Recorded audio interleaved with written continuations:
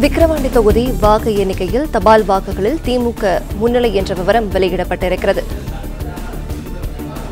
தொடர்ந்து விவரங்களை வழங்குகிறார் நம்முடைய செய்தியாளர் வினீஷ். வினீஷ் தற்போது தபால் வாக்குகளில் திமுக முன்னிலை என்ற விவரம் வெளியிடப்பட்டிருக்கிறது. எத்தனை சதவீதம் வாக்குகள் பெற்ற திமுக தற்போது முன்னிலையில் உள்ளது வினீஷ்?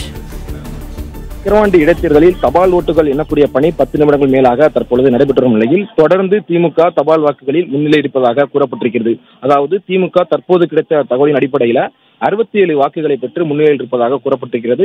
பாட்டாளி மக்கள் கட்சியினுடைய வேட்பாளர் சி. அன்புமணி அவர்கள் பதினெட்டு வாக்குகளை பெற்றிருக்கிறார். அதே போல நாம் தமிழர் ஒன்பது வாக்குகளை பெற்றிருப்பதாக கூறப்பட்டிருக்கிறது. தொடர்ந்து தபால் வாக்குகள் எண்ணக்கூடிய பணி தொடர்ந்து ஆரம்பிக்கக்கூடிய சூழ்நிலையிலே முதற்கட்டத்திலிருந்து திமுக தான் முன்னிலையில் இருப்பதாக கூறப்பட்டிருந்தது. தற்போது கிடைத்த தகவலின் அடிப்படையில் திமுக அறுபத்தி ஏழு வாக்குகளை பெற்று முன்னிலையில் இருப்பதாக கூறப்பட்டிருக்கிறது. நாம் தமிழர் வந்து ஒன்பது வாக்குகளை பெற்றிருக்கிறார்கள். பாட்டாளி மக்கள் கட்சி பத்து பதினெட்டு வாக்குகளை பெற்றிருக்கிறார்கள்.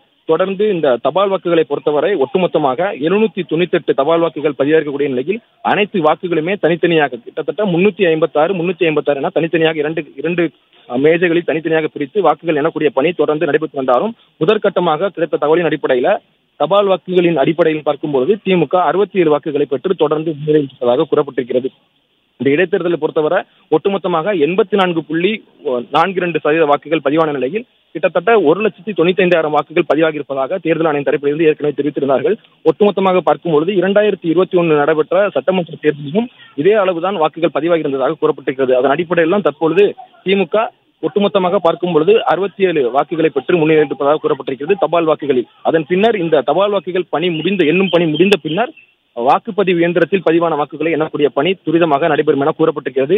அதற்கான இயந்திரங்களையும் அந்த வாக்குப்பதிவு இயந்திரங்களையும் ஸ்ட்ராங் ரூமில் இருந்து தனித்தனியாக ஒவ்வொரு அறைக்கும் கொண்டு செல்லக்கூடிய பணி ஒருபுறம் நடந்து வந்தாலும் தபால் வாக்குகள் எண்ணக்கூடிய பணி தீவிரமாக நடைபெற்று வருகிறது ஒட்டுமொத்தமாக பெறப்பட்ட எழுநூத்தி தொண்ணூத்தி எட்டு தபால் வாக்குகளில் தற்பொழுது திமுக அறுபத்தி ஏழு வாக்குகளுக்கு மேலாக பெற்று தொடர்ந்து முன்னிலையில் இருக்கிறார்கள் இன்னும் அடுத்த கட்டமாக செல்லும் போது கிட்டத்தட்ட எண்பதுக்கும் மேற்பட்ட வாக்குகளை பெறுவார்கள் என கூறப்பட்டிருக்கிறது. பாட்டாளி மக்கள் கட்சி பதினெட்டு வாக்குகளை பெற்றிருக்கிறார்கள். நாம் தமிழர் ஒன்பது வாக்குகளை பெற்று தொடர்ந்து மூன்றாவது இடத்தில் இருக்கிறது.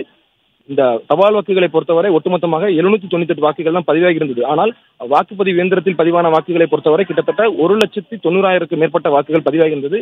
அதன் அடிப்படையில் தான் தற்பொழுது திமுக தபால் வாக்குகளின் வித்தியாசத்தில் அறுபத்தி ஏழு வாக்குகளை பெற்று தொடர்ந்து முன்னிலை வைத்ததாக அதிகாரிகள் தரப்பில் தெரிவித்திருக்கிறார்கள்.